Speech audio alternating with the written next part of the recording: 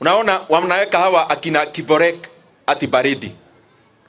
Nimeona juzi katika magazeti ati kuna constituency ati zinaweza futiliwa bali. Let me make it very clear to Kenyans. Na hii mimi nasema, hii mimi nasema ni yangu binafsi.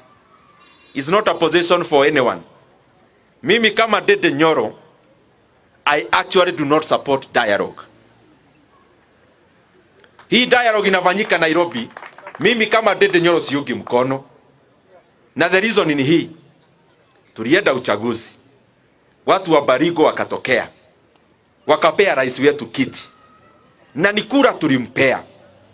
Hii watu ya opposition wakaenda maandamano, ati ndio wanyamaze, tukawaita, wakaanza kututafuta ati tukae chini. Mimi nauliza, tumeenda uchaguzi, tumesida. Hii maneno ingine tunaongea, kuongea ukweli mimi sioni. Nyinyi mnaona? Na the reason is this. Wale watu wa opposition wamejulikana for many years, wanapelekaga sisi hiyo turaudi zao za dialogue.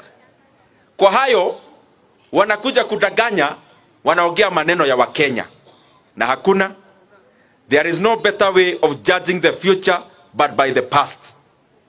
Judging by the past, hawa watu ya opposition wanataka ati tuzungushane hapo kwa dialogue, ati tufike wakati wa kuongea maneno ya vyeo.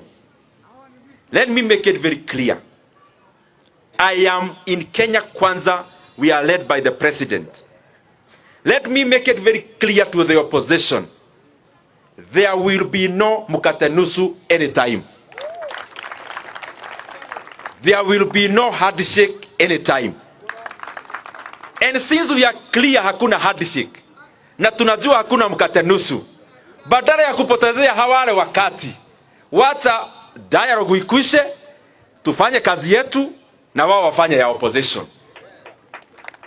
Ama nyinyi watu ya Baringo mnataka mkate nusu?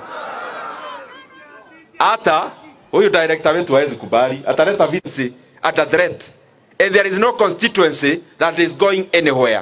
Kwa hivyo tuache hiyo vitisho mingi, tuendelee na kufanyia wananchi kazi ya barabara, ya shule na yale mengine ambayo iko kwa manufaa. Tumekubaliana?